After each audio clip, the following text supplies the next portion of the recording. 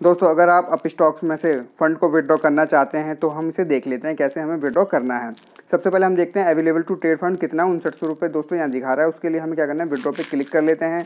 जैसे हम क्लिक करते हैं तो यहाँ आपको दिखता है अवेलेबल टू विड्रॉ फंड तो आप मैक्सिमम इतना ही अमाउंट विड्रॉ कर सकते हैं। अब आपको क्या करना है? जितना अमाउंट आपको विड्रॉ करना है, वो आप यहाँ मेंशन कर सकते हैं। जैसे मैं एक हज़ार रुपये निकालना चाहता हूँ अपने अकाउंट में विड्रॉ करना चाहता हूँ तो आप यहाँ एक हज़ार रुपये लिख देते हैं। उसके बाद आपको सीधे विड्रॉ फंड पे क्लिक कर लेना है यहाँ पर।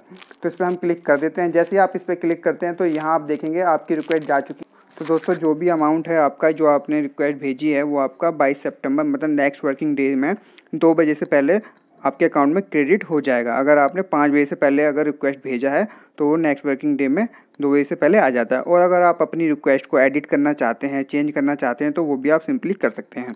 उसके लिए दोस्तों, आपको क्या करना है? एडिट में जाना है। आपको ये नीचे ऑप्शन दिख रहा है ब्लू कलर का तो वहाँ आपको एडिट का ऑप्शन यहाँ मिलता है। यहाँ एडिट में जाइए और जो अमाउंट आपको एडिट करना है, बढ़ाना है, घटाना है, वो आप यहाँ मेंशन कर दीजिए ऊपर।